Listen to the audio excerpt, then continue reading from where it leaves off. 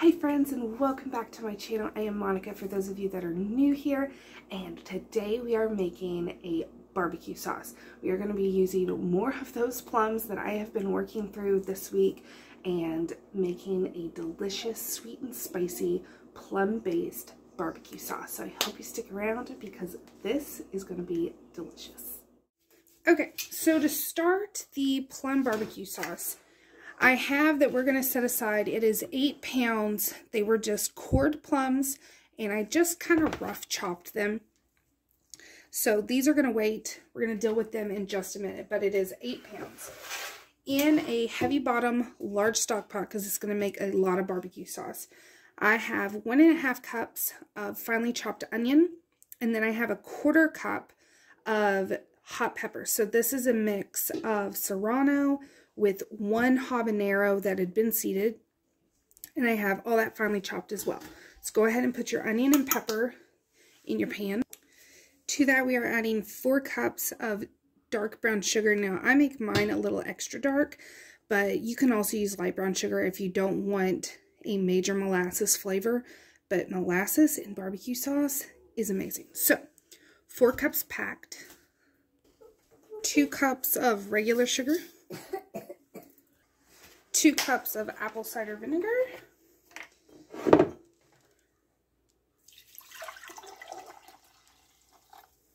And we may add more, depends on the flavor of these plums. Next you want four tablespoons of mustard seed.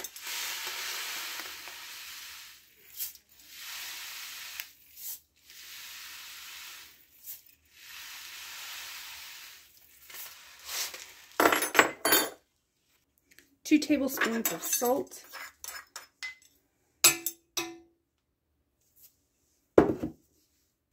and lastly, a couple tablespoons of some garlic powder. You can also use fresh garlic, but I'm just going to use this.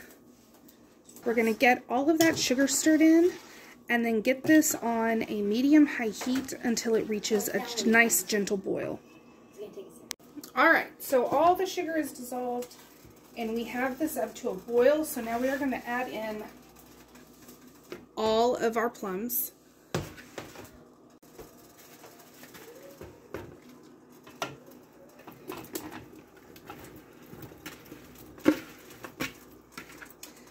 So we are going to get all this stirred in and let it just stay at a gentle boil. You don't want a rolling boil, just a gentle boil until everything starts to really just break down, get real nice and sticky and gooey. And that's when we know our barbecue sauce is ready for taste testing and then getting this canned up for our pantry. All right, so here's the consistency. This is cooked. Honestly, it's been going at a nice simmer for a couple hours. So you can see everything has really broken down. The flavor is phenomenal. It's like a sweet heat barbecue sauce.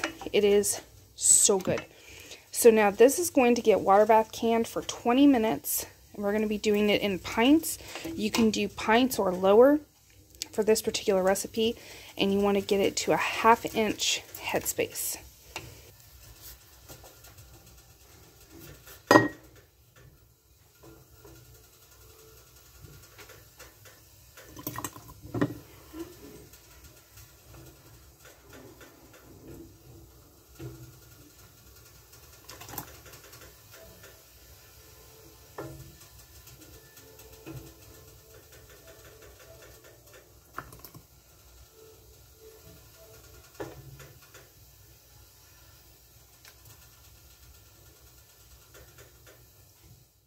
Right, so we ended up getting almost seven pints.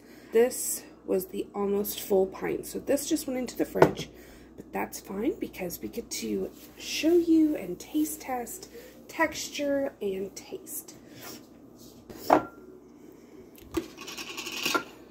So it is a very nice, thick sauce.